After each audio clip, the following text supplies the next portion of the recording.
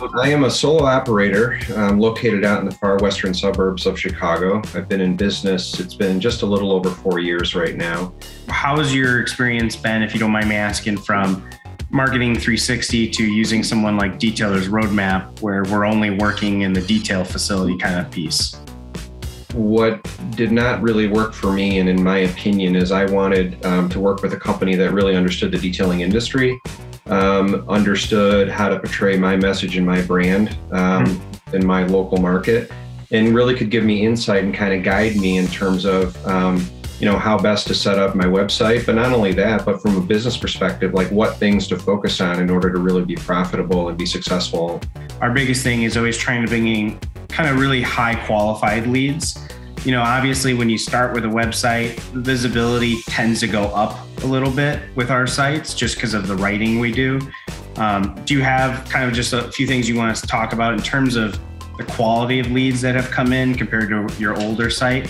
Number one, they're qualified leads. And, and number two, and this is even more important, in the services that are really profitable to me. So, you know, the way my website was structured before, I ended up having to spend a lot of time trying to screen out, um, you know, what we all know as tire kickers. And I've gone from that now to customers um, really um, already um, making decisions about what they want in terms of service. If they click that button and they say, I've reviewed pricing and I'm ready to book now, I'm good. And usually with some of those customers, because I'm so busy, I can handle very quickly back and forth with text and um, away we go. So nice. it's really good. I really like working with you guys because you you tend to actually make some changes on your site.